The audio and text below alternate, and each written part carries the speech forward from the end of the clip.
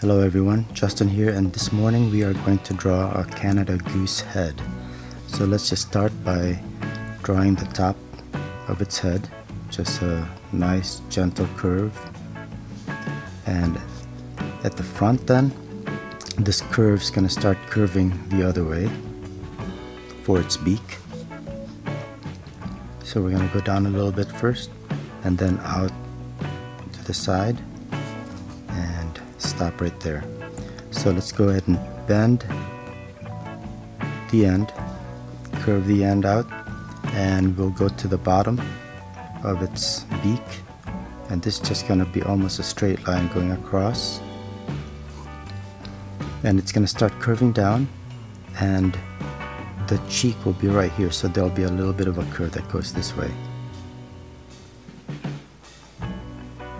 At the midpoint of this head then, is where this the cheek then curves into the neck. So let's do that. And then the back will continue the curve and start curving down for its neck the back of its neck. Right above the cheek then will be the eye and we'll just draw a circle. And another circle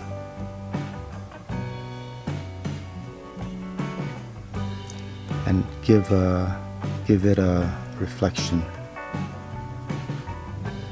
Right there in the upper right.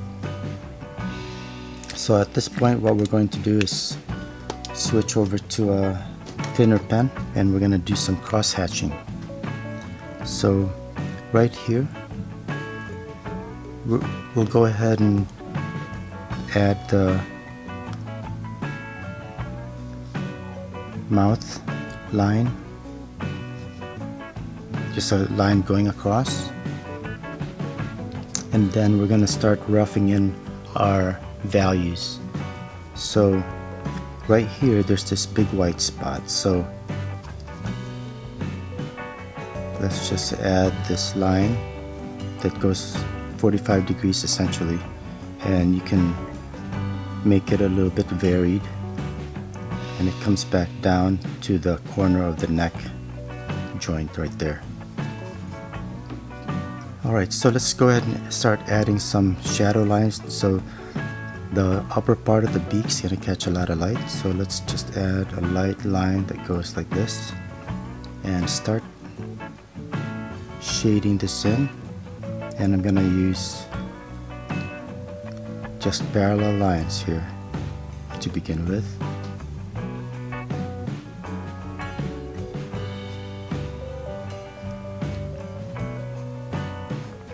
Okay?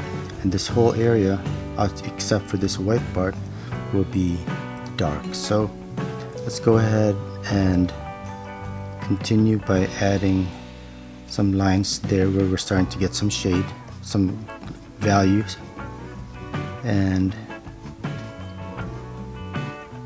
just continue this shading all the way across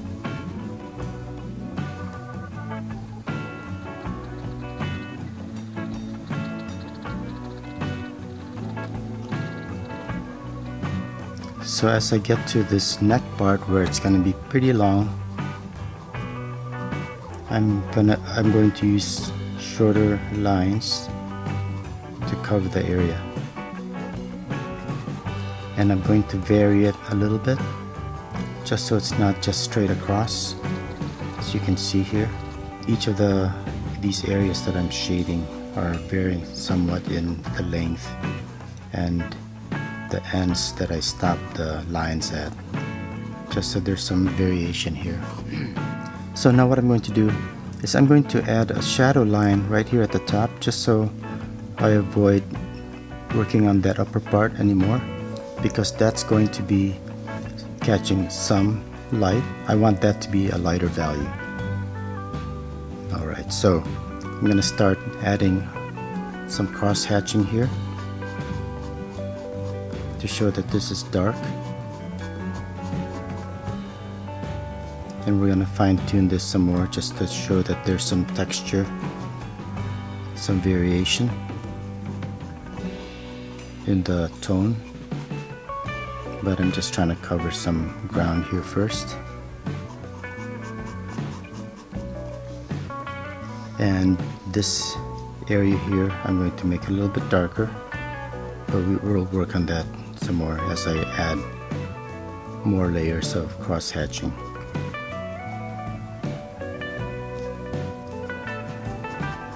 But I wanted to go ahead and add this shadow line just to show just to guide me as far as where I'm adding the second layers of uh, second layer of crosshatch lines and I'm going to go ahead and follow the inside the front part of the neck with my crosshatch lines here. And that's the, the pattern I'll follow as I go across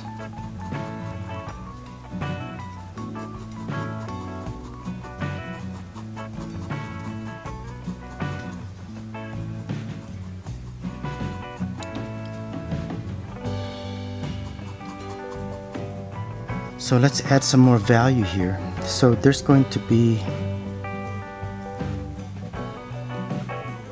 a surface difference here in this beak. I believe there's like a little hole or something here. So let's go just go ahead and add some lines here. And then I'm going to add some shading here at the bottom, the bottom part of its beak. So cross hatch just different direction lines versus what I already drew. Okay now what I was talking about here we're just gonna add some more lines this time at a different direction but I'm going to vary it as far as where I'm doing it. I'm not just going straight across now. So maybe this part here could be a little bit darker and right here in front of the eye. And for sure here at the bottom where there might be some darker tones because of the shade because of the how the lights hitting the head. And I'm going to add a second layer down here all the way across.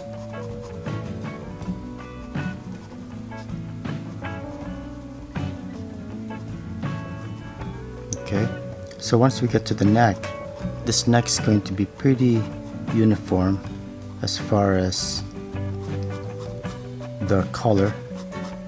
It's going to be pretty much all dark but I'm still gonna go ahead and add this extra shading right here just so in, in the end there'll still be a little bit of a change in the tonal values. And just like before I'm going to start with my strokes just going down the edge here so what basically what I'm saying is I'm not going across like this as I do these these set of lines.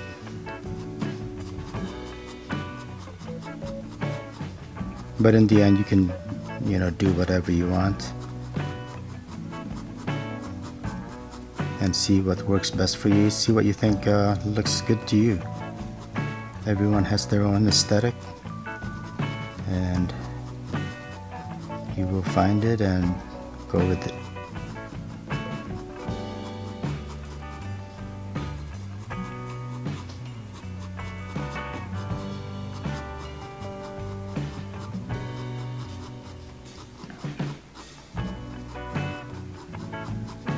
Alright, so what I'm going to do here is I'm going to leave this right side without this set of lines just to keep that a little bit lighter and I'm gonna add more tone right here in the center. So now I'm going to go yet a different direction.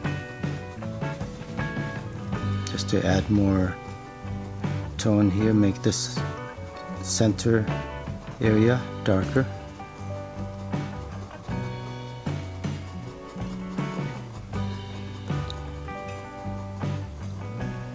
And I'm going to make this part under the eye darker still. So here's the dark shade right here under the cheek.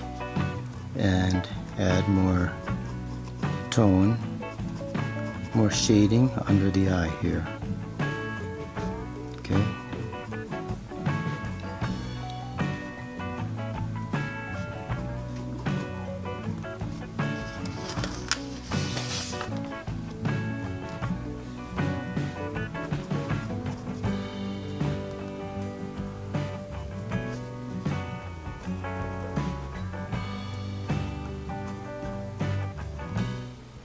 Alright, so as far as this part goes, this is going to be very, very white.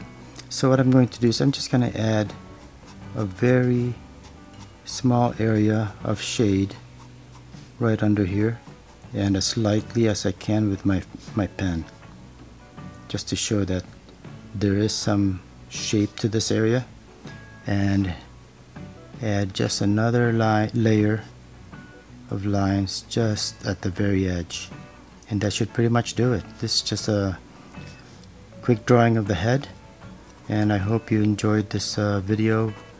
And please don't forget to sh like share and subscribe and hit the notification bell. And I will see you at the next one. Thanks and have a great day